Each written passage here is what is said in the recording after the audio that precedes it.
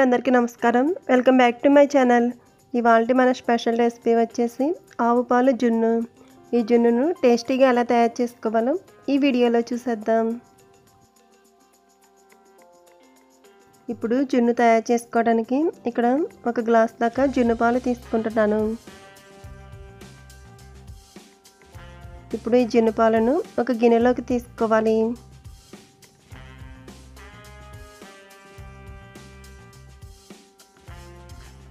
ఇప్పుడు అదే గ్లాస్తో మూడు గ్లాసుల దాకా మామూలు ఆవు పాలు తీసుకుంటున్నాను.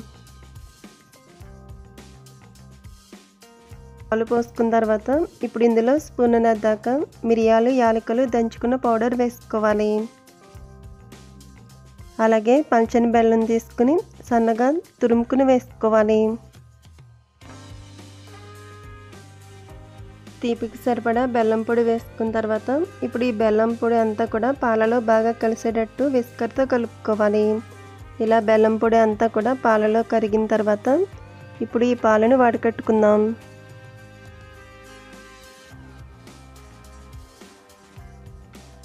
వడకట్టుకుని జున్నుపాలు గిన్నెని పక్కన పెట్టుకోవాలి. ఇప్పుడు స్టవ్ వెలిగించి కుక్కర్ పెట్టుకుని అందులో ఒక గ్లాస్ దాకా వాటర్ యాడ్ చేసుకోవాలి. వాటర్ పోసుకున్న తర్వాత ఇప్పుడు ఇందులో ఒక స్టాండ్ పెట్టుకోవాలి. ఈ స్టాండ్ మీద జున్నుపాలు గిన్నెని పెట్టుకుని మూత పెట్టి కుక్కర్ మూత పెట్టి ఇరవై నిమిషాల పాటు మీడియం ఫ్లేమ్లో పెట్టి ఉడికించుకోవాలి. ఇరవై నిమిషాల పాటు జున్నుని ఇలా ఉడికించుకున్న తర్వాత ఇప్పుడు స్టవ్ ఆఫ్ చేసుకుని కుక్కర్ మూత తీసినట్టయితే పర్ఫెక్ట్గా జున్ను ఉడికి ఇలా ఉంటుంది.